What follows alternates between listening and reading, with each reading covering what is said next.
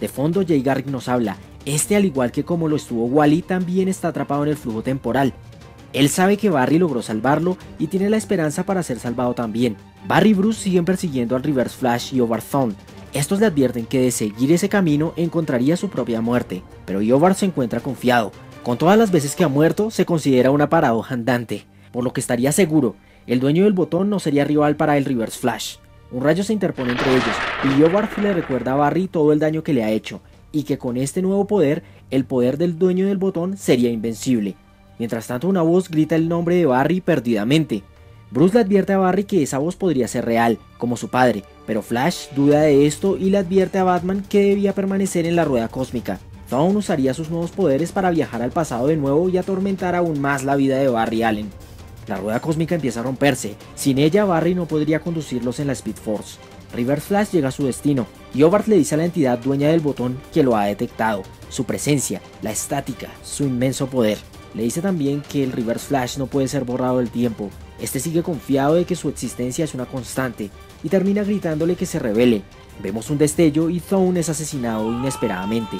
Los héroes oyen su grito, saben que es demasiado tarde, la rueda cósmica se destruye, la voz en el fondo se oye más fuerte, Bruce le dice a Barry que esta voz sería su única esperanza. La voz le dice a Barry que debe decir su nombre, Jay.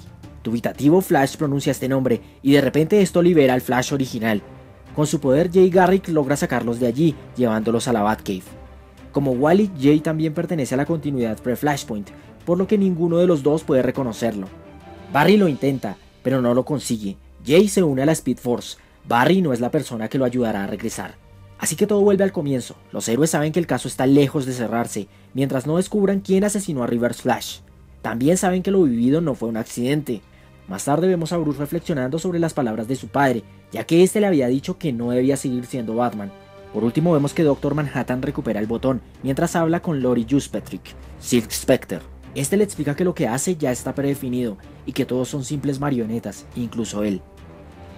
Hola, bienvenido al review de la última parte del evento del botón crossover entre las series de Batman y de Flash. Recuerda suscribirte a este canal para ver más reviews de eventos actuales de Reverse.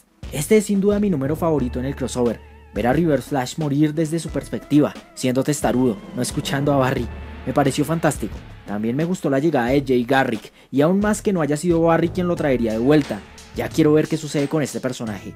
Por otro lado, me parece interesante ver las secuelas que dejaron a Bruce las palabras de su padre. Ojalá esta preocupación se extienda más allá de aquí, ya que me parece que para esto fue lo único que sirvió ver Flashpoint en este evento. Doctor Manhattan sigue sin dar la cara, y al parecer tendremos que seguir con la incertidumbre hasta noviembre, cuando llegará un nuevo evento titulado Reloj del Juicio, que parece vendrá para la serie de Superman. El arte de Porter tiene un mal comienzo aquí, pero termina de manera genial, mostrando gran nivel de detalle. Por lo tanto, a este título le doy una calificación de 9,7. Es agradable de leer. Y ese es el review. Recuerda que si te ha gustado este vídeo, suscríbete para más contenido como este.